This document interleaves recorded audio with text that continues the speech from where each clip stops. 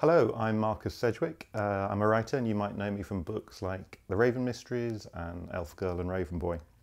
I'm here uh, to tell you a little bit how to improve your descriptive writing, how to improve your descriptions both of people and also of scenes. There's some good news. Uh, I think a lot of people when they think, oh, I've got to write a descriptive scene uh, or I need to describe a character, they panic because they think they have to describe every single thing about the room that their characters just walked into. And the good news is you don't have to.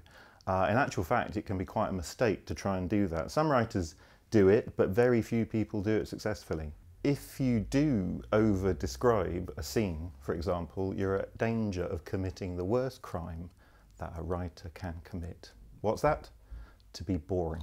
Much better to keep it simple and keep your readers' interest. Remember that you're not painting a picture, you're writing a story. And you only need a few words to tell that story. They just have to be the right ones.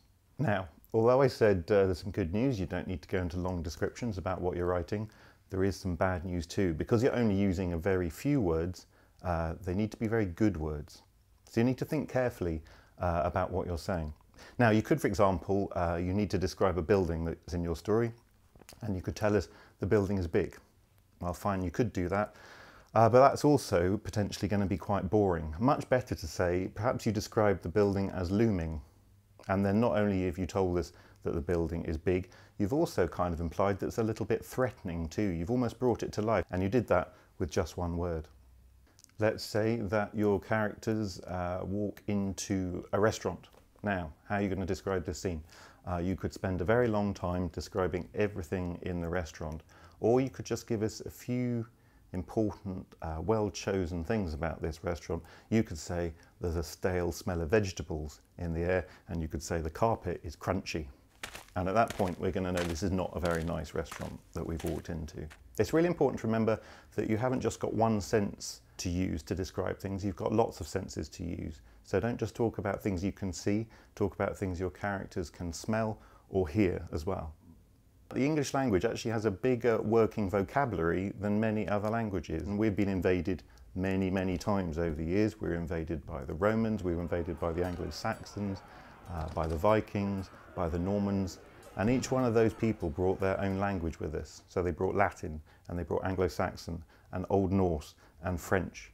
And so English is actually a mixture of lots of different languages, and that means for any word you want to use, there's probably many different ways of saying it. But don't just reach for your thesaurus and start picking out uh, random words and trying to throw them into your story. You have to know what they mean. You have to choose the right one. You have to choose a word that is exactly right for the sentence uh, that you're writing. Let's have a little think about how to describe people. Now, again, uh, I think people often make the mistake of thinking they have to describe exactly how a character looks. And again, some writers do do that.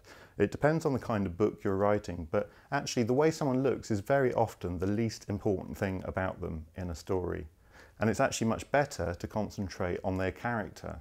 And by that we mean the things they say and the things they do. Now, you could, for example, describe a woman as beautiful, fine, but potentially a bit boring. But if you told me that when she walks in a room, everyone stops talking and looks towards her, that's much more interesting. We see the effect that she has on other people. To sum up, uh, when you're doing a piece of descriptive writing, my advice is to keep it simple. But don't go for the obvious words, the words you hear all the time. Try and think of the right interesting word, the word that's absolutely right for that sentence. Make full use of the wonderful rich language that we have and enjoy it. Above all, always enjoy it.